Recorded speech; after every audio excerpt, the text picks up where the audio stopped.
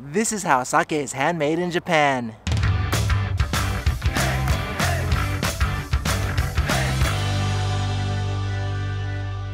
So today we are in Kobe, Japan, and I'm gonna take you inside the Hakutsuru Brewery and show you how sake is handmade. But before I start, like always, if you wanna see what I'm doing on the daily, check out my Instagram account. If you wanna help support the channel, then definitely check out my merch. And if you guys have any questions about Japan or your Japan travels, then check out my Discord community. All right, let me take you on this tour. Let's go. Get your cups ready as I'm taking you to Hakutsuru, located in Nadagogo, Kobe, Japan, a flourishing sake producing area since the Edo period. Today, there are 1,550 sake breweries here, accounting for more than one quarter of Japan's total sake production. And this brewery, founded in 1743, is a top sake producer in the area, with 100 hardworking brewers crafting sake loved not only in Japan, but all throughout the world. The factory is probably most known for Maru, the everyday Japanese man's daily daily sake produced throughout the year. But today, I'm taking you on a different path. Produced only in the winter, you and I are going on a journey to see firsthand how these expert brewers use a traditional method of handcrafting its highest grade sake, Daiginjo, truly earning the title Made in Japan. Cool, I've made it inside. This is always a fun part. Let's do this. And there we go. All rice, let's begin. Sake ingredients are pretty simple. Rice, water, and koji, a specific Japanese mold used for culinary fermentation. Rice suitable for sake though is a little different from the rice you and I eat, as the grain must be large, hard, and low in protein and fat to create a clear sake taste, which is why the brewers use the king of sake rice, Yamada Nishiki, grown here in Hyogo. It's polished down to 38% compared to standard sake rice at 70%, which requires even more delicate care and flawless technique to properly craft the highest end sake. Oh damn, and it all starts with Japan's typical morning radio taiso. The Kurabito, aka sake brewers, have a fairly strenuous day ahead, so they all start off with a morning stretch over loudspeaker. Once limbered up, the brewers wash and sanitize their hands to ensure the cleanest environment as possible. Okay, let's see what's going on over here. Splish Splash! This is where the brewers get crafting as each grain of rice is washed and soaked before it's made into sake, a critical point in the process as every second counts, literally. Even a 3 second soak would increase the rice water content by 0.1%. Equipped with hundreds of years of knowledge and experience, the brewers are able to finally gauge and infuse water into each grain of rice in a manually controlled process of buckets of water and rice. Apparently, back in the day, the brewers would sing to time the process, but these days they use a timer to craft a more accurate sake. Oh cool, I think this is where they steam the rice.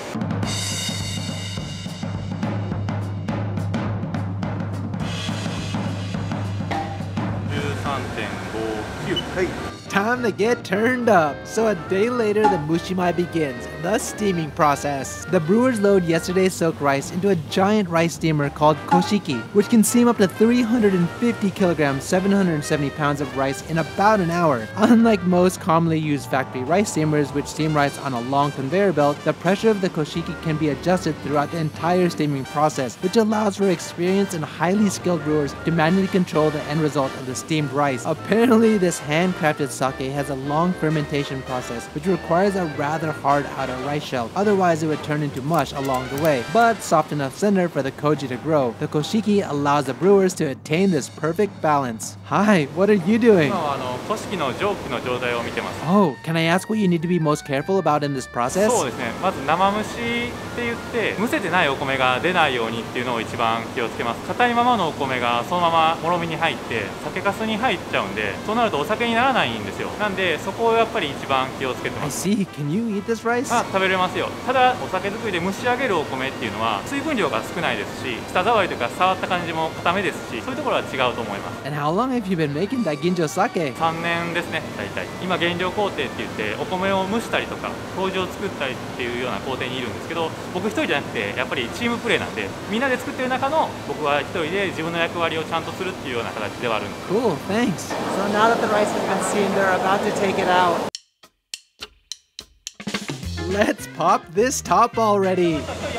Oh, I guess they have to coordinate a bit before they get the road on the show. Apparently, this part of the process needs to be done quickly to ensure that the rice cools down properly and the moisture evaporates. And from here, the steamed rice is separated for different stages of the sake crafting. Koji production, Shubo and Moromi. No cap, it's steaming. Make no mistake, the rice is extremely hot, yet the skilled brewers still use their bare hands to spread it, as it's the only way for them to truly judge and feel the conditions of the rice. At the perfect temperature of 40 degrees Celsius, 104 Fahrenheit, the rice is moved to the koji muro, a specially designed room to grow koji which is hot and humid, kind of like a sauna. It's critical for the brewers to spread out each grain of rice evenly so they cool down at the same rate. Once spread, the rice is rested for 2 hours with the temperature and humidity perfectly controlled. Unlike mass-produced sake where the rice is cooled by machines, rice cooled in an open room requires master brewers who can detect the slightest of changes in the rice by feel and sight alone, and then can skillfully make the required adjustments. Okay, let's go! We've made it to the Tane Kiri stage where the koji spores are spread onto the rice.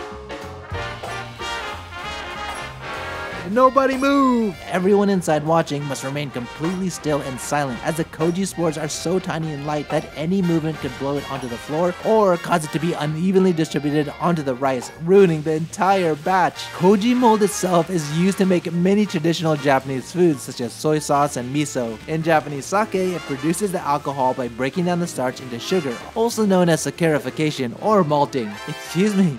So what's the deal here? 今、トコモミという作業をしてまして先 ほど降った種麹が米一粒一粒に品種がつくように手で揉んでつけています Ah, does it stick to your hands? 麹の米っていうのは結構さばけといって水分が周りに少ない状態ですのでほとんどつかないですね I see. So what's your favorite part of handcrafting sake? 仕上げの作業を見るときが一番集大成に近いところですので好きなところです And what's your favorite sake? 大吟醸はもちろん大好きですね Anything else? 別格シリーズというのがありまして私若手プロジェクトというのが入ってまして自分らの思いを込めたお酒を作ってましてそのお酒が一番好きです Dope. Now that the brewers have evenly spread the koji mold throughout the rice, they wrap the rice up to help lock in the moisture and promote the growth of the mold. Apparently, the table itself is a scale, so the brewers are able to quickly measure how much water content remains without having to unwrap the rice. So before we continue on, I want to give a quick shout out to the sponsor for this video, Squarespace. If y'all don't already know, Squarespace is the number one way to build your online presence. In fact, I use Squarespace for my website, Tokyo Zebra. Here are just some of the reasons why I love using Squarespace so much. Whether you're starting your passion project or building a business, Squarespace has all the tools to get it done while also looking ultra sleek and professional at the same time. They support numerous portfolios and gallery designs which you can customize and even password protect so the right people see your work. Use its fully integrated blogging tools and commenting features such as threaded comments, replies, and likes to help engage your community. And my personal favorite, built-in analytics to see how your visits, unique visitors, and page views trend over time. There you go. Go to squarespace.com today for your free trial. When you're ready to launch, go to squarespace.com forward slash Paolo from Tokyo and get 10% off your first domain or website. Cool, that said, let's continue on with this handmade sake adventure. So just behind me is the rice all wrapped up. Let's see what happens next.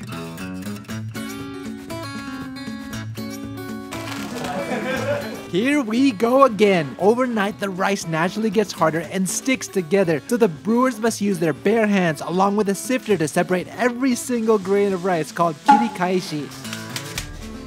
Hot sake, the brewers make sure to separate every last grain. Once completely separated, the brewers lay rice into wooden trays called koji buta to further encourage the koji growth. By separating the rice into smaller piles, it's easier to control the temperature and water content of each grain, ensuring that the mold grows at the same rate.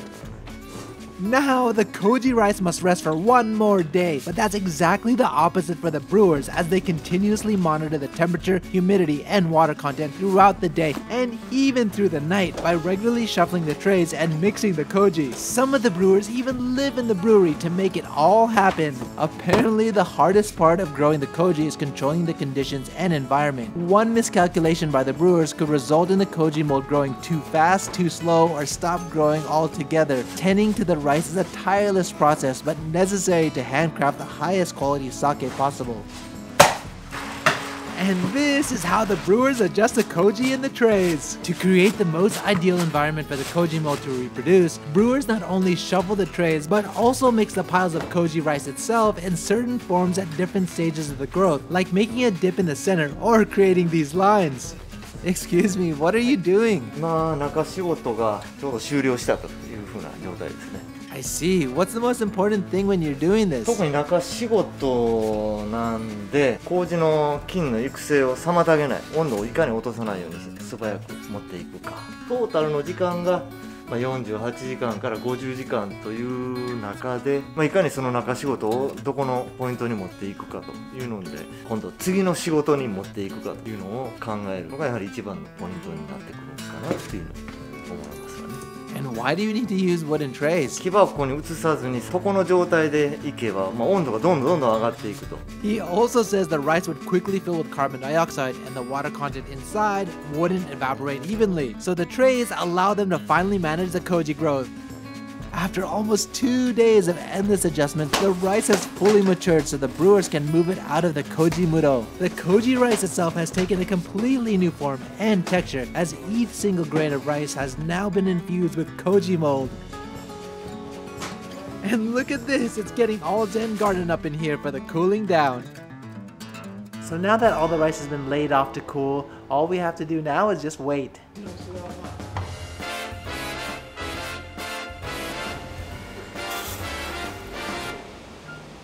We're finally here! I feel like we've grown so much since the beginning of the video. Well, at least the koji has, and now it's time for the rice to become alcohol. I think I've been waiting my entire life for this moment. Matured rice koji, water, and yeast are mixed together to produce the shubo. Oh wow, the brewers are using locally sourced Rokko Mountain subsoil water with its uniquely high mineral content in Japan, which helps the growth of koji mold and yeast. Another reason why brewing is so popular in this area. The water itself is a key ingredient to creating the brewer's signature sharp and clear sake taste. Watching this entire process is really making me want to drink right now. But cold rocks, we gotta keep this video going. So the brewers use their own special blend of yeast to produce their highest quality handcrafted sake. In fact, brewers store about 400 different types of yeast, each producing its own distinct flavor, which allows the brewers the ability to expertly mix them in order to develop an exact flavor. There's actually so much going on all at the same time. I'm having to run back and forth. This is getting tiring. Anyways, it's time to create the moromi, fermenting mash. Rice, rice koji, and water are added three times over four days. But depending on the sake being crafted, the mash can be produced all at once, or even adding rice and water up to seven to eight times. The brewers rely heavily on their historical data analysis to produce a consistent sake, but slight changes in the environment, weather, rice quality, etc. must be manually accounted for by the brewers, meaning that crafting sake is less like a static ratio of mixed ingredients, but more of a blending of technique and ingredients to create a consumable living piece of art. Huh, I wonder what's behind that door over there.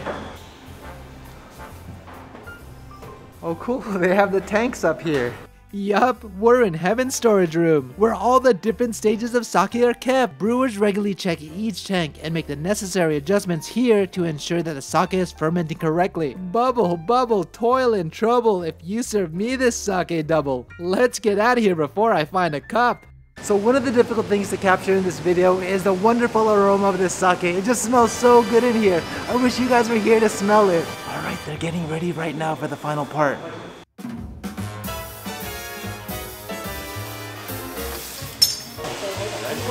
Yay, the Dai Ginjo sake is finally ready.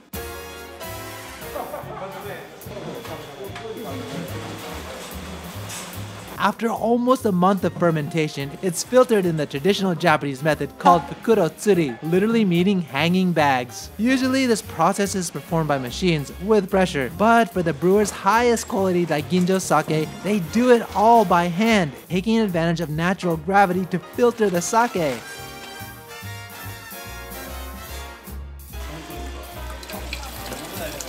Damn, that's some smell good in the air. Finally, the Toji, the master brewer in charge of the entire production, has the final taste. With his approval, the sake is bottled up and ready for shipping. Although a massive undertaking for the team of brewers, only a thousand bottles are handcrafted each year, making it an extremely sought after sake all around the world. So that's how sake is handmade in Japan. If you guys like this video, help me out and hit that like button. And if you guys want to see more videos like this or anything related to Japan, hit that subscribe button and the bell button. I'll catch you guys in the next one.